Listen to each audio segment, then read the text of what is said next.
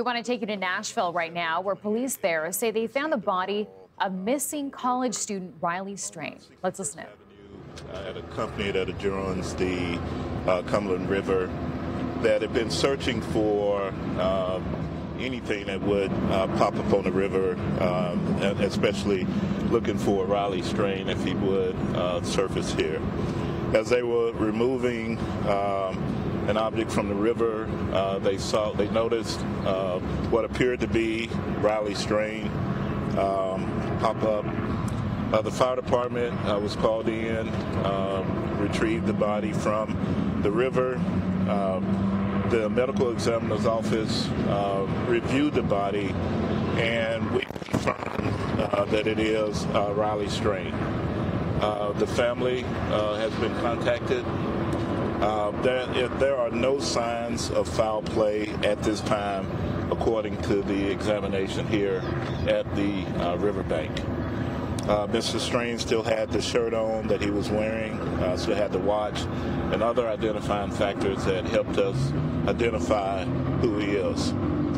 I want to say uh, to the family, uh, my heart and prayers go out to you all uh, for this very unfortunate and tragic uh, incident. I also want to say thank you to the Nashville community and the Outpouring community of the outpouring support from the community uh, in trying to help us locate uh, Mr. Strain.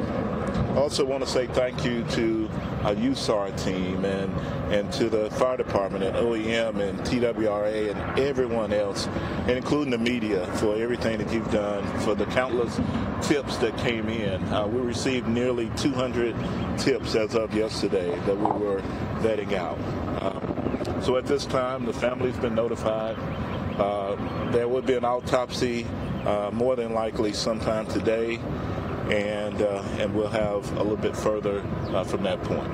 So thank you. Chief, can you tell us, is there any other additional evidence that, that points you to the theory that it seems like you've been going after for a while now? It's just that he fell into the river, you know, accidentally? Yeah, there's no other evidence that suggests anything other than uh, we have reports that uh, normally, uh, under these circumstances, with, with, his height and weight, that he could have surfaced between 14 and 20 days.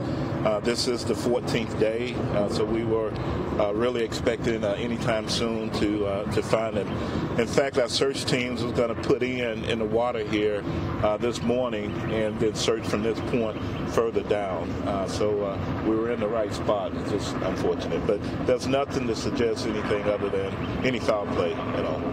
You said that these were crews that were actually looking for him that found him? Yes, that's uh, so the workers typically on the river, whether it's barge companies, concrete companies, other businesses that actually are on the river, and they uh, they look routinely. It's happened countless times before.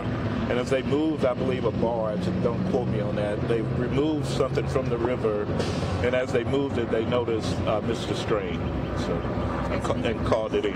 Typically work on the water. They weren't necessarily search crews. Right, right, right. Yeah. Okay. okay, thank you all.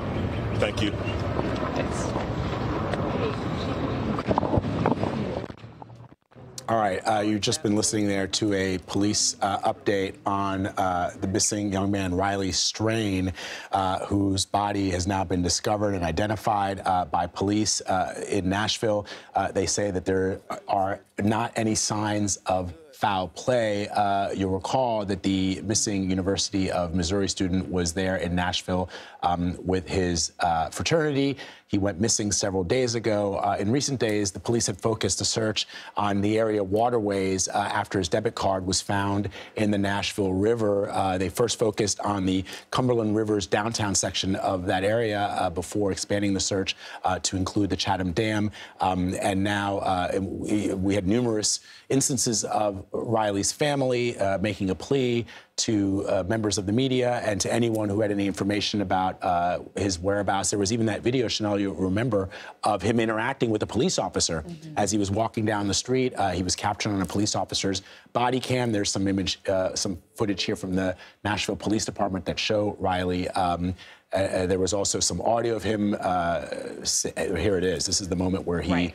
Is um, caught on the police officer's body camera footage. So there was some hope that uh, he would be found safe and sound. And of course, the news coming to us now, if you're just joining us here on CBS News, the body of the missing University of Missouri student uh, Riley Strain has been discovered. Uh, police say that there are no signs of foul play.